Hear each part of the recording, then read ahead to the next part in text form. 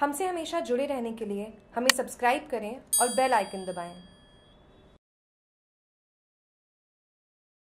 आज दोपहर हिंडौन से करौली जाते समय उस समय एक अजीब नज़ारा देखने को मिला, जब करौली स्थित मुंशी त्रिलोक चंद्र माथुर स्टेडियम में आयोजित कांग्रेस की संकल्प सभा के दौरान पहुँचने से पहले ही जयपुर से जा रहे प्रदेश कांग्रेस के बड़े नेताओं की बस हिंडौन में जाम के कारण फंस गई सभा में समय से पहुँचने की जन्नोजहद में आखिरकार सचिन पायलट ने एक कांग्रेसी कार्यकर्ता की मोटरसाइकिल ली और अशोक गहलोत को अपने पीछे बिठा के बाइक से ही हिंडौन से करौली रवाना हो गए। इस दौरान हिंडौन से करौली तक संकल्प सभा में जाने वाले कांग्रेस कार्यकर्ताओं का हुजूम का हुजूम देखा गया। सचिन पायलट और अशोक गहलोत ने बाइक से कांग्रेस कार्यकर्ताओं को अभिनंदन करते हुए करौली पहुँचे। यहाँ कांग्रेस नेता रमेश मीणा, अन्य कांग्रेसी पदाधिकारियों की तरफ़ से आयोजित संकल्प सभा में पूर्व मुख्यमंत्री अशोक गहलोत, प्रदेश कांग्रेस के अध्यक्ष सचिन पायलट ने जमकर बीजेपी सरकार पर निशाना साधा।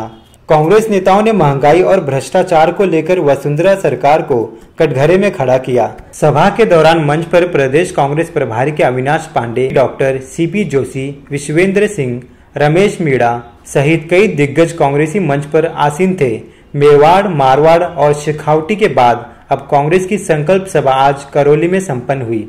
अब तक की तीनों ही सभाओं से यहाँ पर अधिक भीड़ देखी गई, जो आगामी चुनाव में राजनीतिक दलों की दिशा और दशा तय करेगा। जयपुर से जागरूक टीवी की रिपोर्ट।